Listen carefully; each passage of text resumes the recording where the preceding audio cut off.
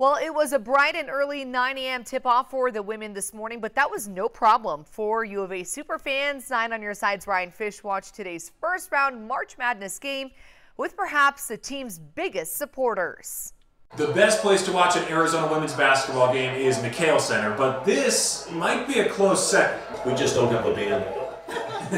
No band, but more than enough spirit in this Oro Valley home. They play to their potential, they should win by 15, 20 points. My blood pressure goes up. Yeah. Stephen and Sharon Corbin have an entire room dedicated to the Wildcats, ready for Friday's first round March Madness matchup against West Virginia. Ah, yes, kids, they just. Yeah. The Corbins care, not just about this game, but about these players and coaches. The couple moved to Tucson full time in 2018 when the program was struggling.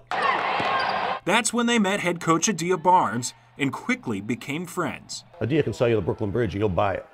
She is awesome. She is, and what you see is what you get, right?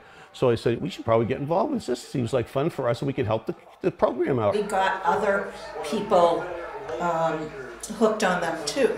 So they cared about the girls. You know, they cared about the team. It was very from the heart. They went from passing out free tickets at other U of A sporting events to traveling with the team on their run to the Final Four. This house is now a sanctuary for the players, a place for teammates to bond off the court. Yeah, that's Ari. She's staying here now for a few months. Former Wildcat stars Aari McDonald and Sam Thomas have even lived here part time, a true home away from home. The Corbins have high standards, but they're also grateful the Wildcats are a winning program once again. Well, it's awesome. That was the goal, right? We were proud. We're awesome because we did. You know, we can't coach or do anything, but we helped a little bit. In Oro Valley, Ryan Fish, KGUN 9 on your side.